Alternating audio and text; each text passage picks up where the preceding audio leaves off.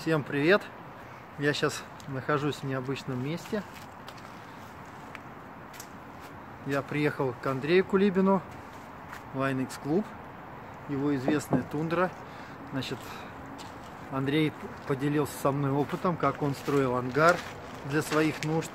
А мне это нужно как раз ангарчик для моего автобуса. Будем продолжать проект КАВС Автодом. Так что вот такой огромный ангар, бетонные плиты, самостоятельный каркас сделал Андрей. Так что отличный вариант у него получился. И этот опыт мне будет полезен. О, вот он. Андрей. Привет всем.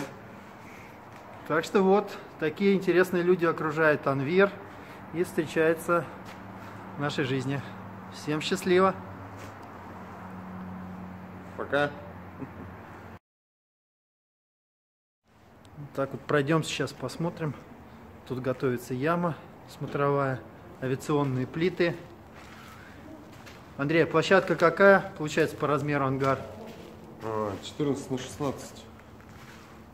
Ну, то есть подушки песчаные и авиационные плиты. С металлический каркас, деревянная обрешетка и снаружи цинкованный профиль, да, вот этот блокированный. Да? А вот это сверху опалубочные, да, такие конструкции какие-то. Ну, двутавровая балка деревянная.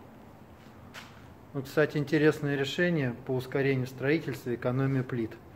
Такие вот пролеты песчаные. В перспективе там ямы делаются, либо просто зальется бетоном.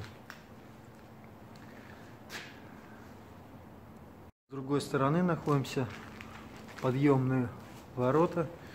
Как раз получается, по сути, 6 машиномест, да, можно сразу, Ну да. небольших. Либо три больших автомобиля. А Нет, вор- почему? 6, вот спринтер и тундер входит.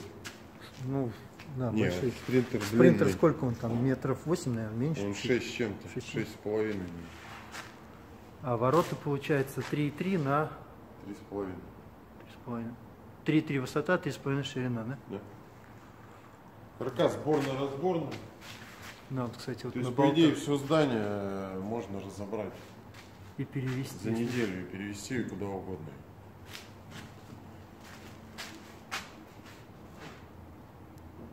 Круто.